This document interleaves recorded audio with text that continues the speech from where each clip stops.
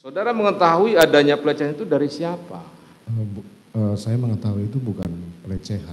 Waktu saya bertemu dengan istri saya di Saguling, hmm. bahkan lebih sadis dari pelecehan.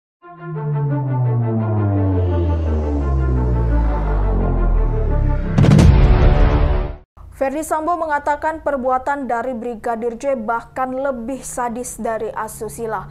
Hal ini dikatakan Sambo saat menjadi saksi di persidangan PN Jakarta Selatan pada 16 Desember 2022. Bahkan lebih sadis dari pelecehan, istri saya diperkosa, dianiaya dan diancam, ujar Sambo pada hakim persidangan. Hal inilah yang membuat Sambo menjadi emosi terhadap Brigadir J dan ingin mengonfirmasi perbuatan Yosua di rumah dinas Duren 3. Ferdi Sambo mengatakan hal ini saat menjadi saksi dalam persidangan terdakwa kasus obstruction of justice dengan terdakwa Irfan Widianto. Mengkonfirmasi kepada Joshua itu tentang ya dalam tanda kutip adanya peristiwa pelecehan yang terjadi di mana?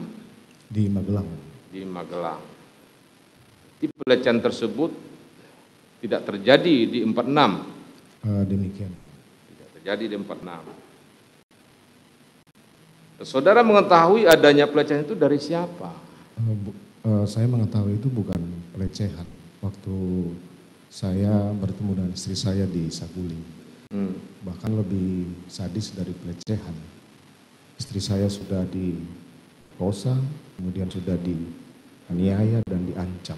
Itulah yang membuat saya emosi kemudian uh, saya lupa untuk uh, harus melakukan ini yang mulia.